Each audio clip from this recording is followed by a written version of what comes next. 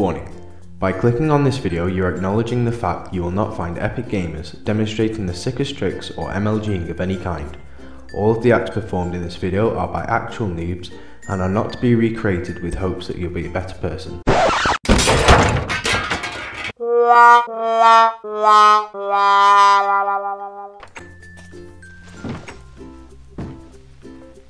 So this guy's annoyed.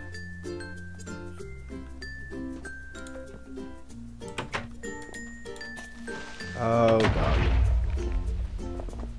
Why did I do that? Uh, that one I see. Um, I see. I don't know. Pokeball. It looks like a weapon, like a ninja star, maybe. Some people don't know where the clitoris is. I So don't know. It's on like a Wednesday or a Tuesday or something, isn't it? something like that, yeah. yeah. This one is mine. Not yours. Mine. Whoa! Don't like it. Made it. Did you? Yeah.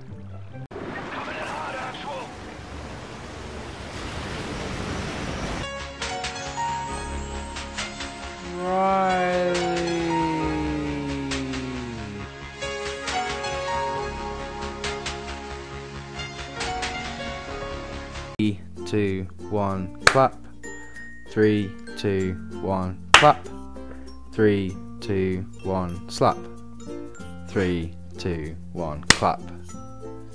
Clap. Three, two, one, clap. Sing that to the second one, Frank. Cheers. That's my editing go. Three, two, one, clap. It's my new favourite thing. Some watermelons, some regular melons, some strawberries. Uh, made Oh, whoa. five polygons. I hear shouting now. Oh, come on! And now people are going to have seizures, they're going to die quicker. Research doctors all around the world completely focused on developing a cure. Well, fuck off, you can't. I thought me buying all that. Oh shit, look, people are now dying. This is good. People are dying, people are dying, people are dying.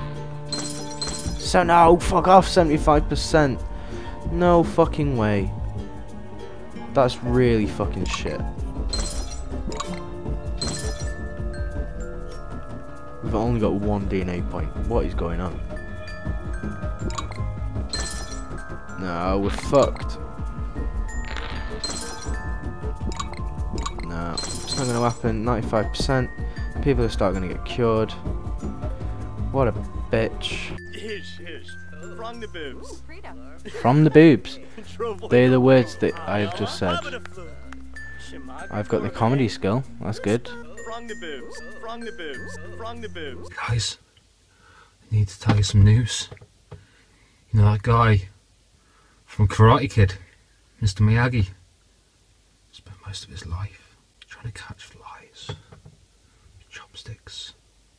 What was that? What was that? Oh, I have a wiggly thing on my. I have a silkworm. Can we look at Wiggly thing? Um, I'm gonna Oh slap that's it in it. your face. it's a bit um Uh, uh, scrawny. uh, have it. What?